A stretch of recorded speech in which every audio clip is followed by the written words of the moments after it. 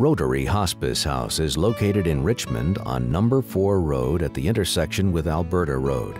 It is owned and operated by the Salvation Army.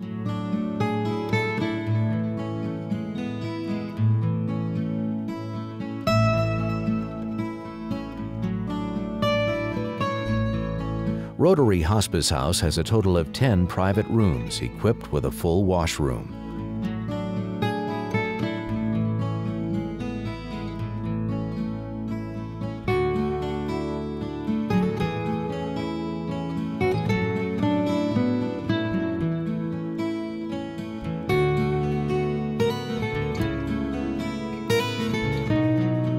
Each private room opens to their own patio, overlooking a garden, pond, and meandering paths.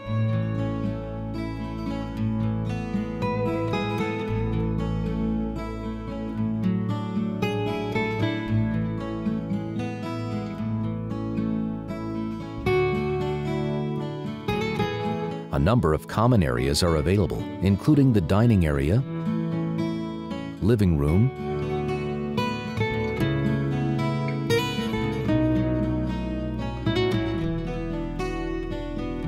and a quiet room.